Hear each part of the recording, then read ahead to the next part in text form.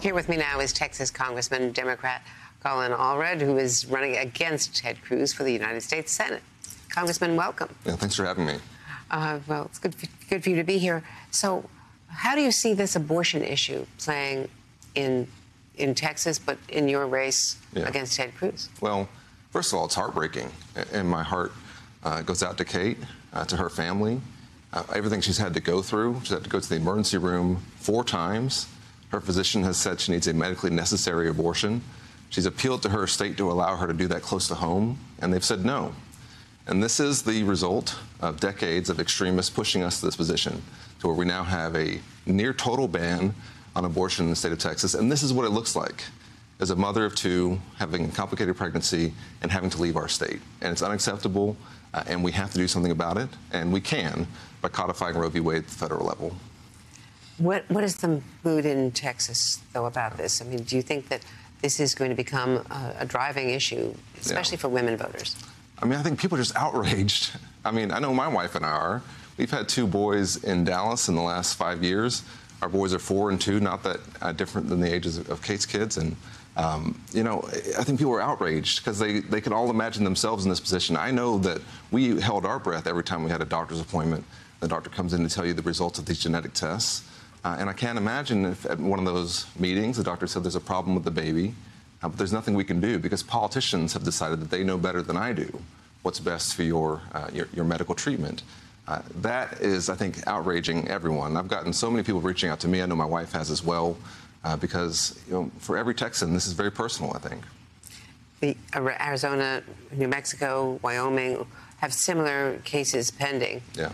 And these, and also the Supreme Court has just taken the abortion pill case. Yes. So, which now is that medication abortions are now used, at least according to the most recent data, by uh, half, at least half mm-hmm. of the people seeking yeah. these procedures. Yeah. So, this is all trending in a in, in a more restrictive yeah. direction.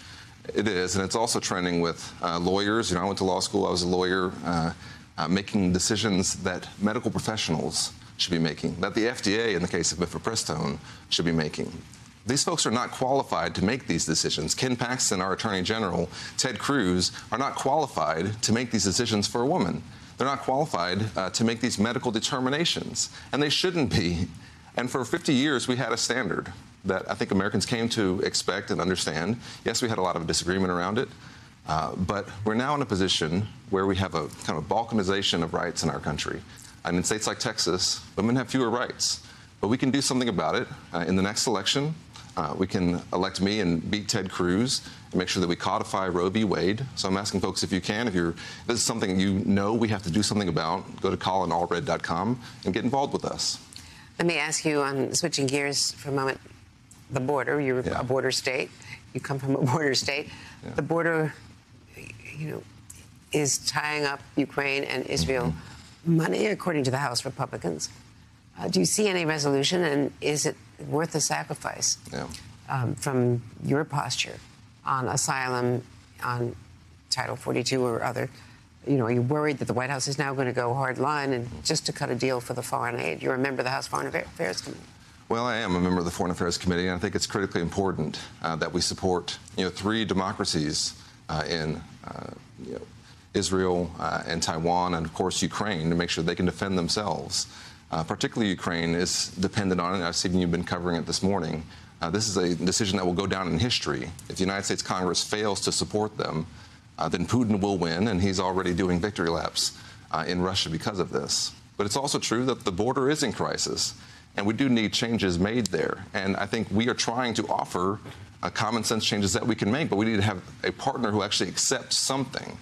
And I, I worry that we have too many members, uh, my colleagues and also in the Senate, uh, who don't actually want to do anything to solve our issues at the border and just want the political issue. Because if you try and do anything to fix it, then you can't use it in the next election. But are you worried that the White House might cut a deal and, and go for the harder line? Yeah.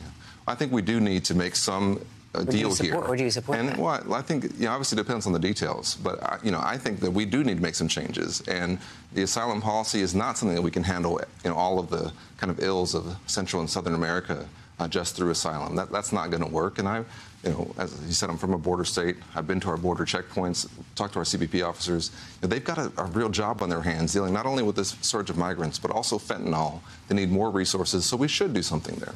So it sounds like you're a gettable vote on that issue. No. Well, I think it's important that we do make a change there, but also, to me, these two issues should have never been tied together, and I think it's a shame that they have been.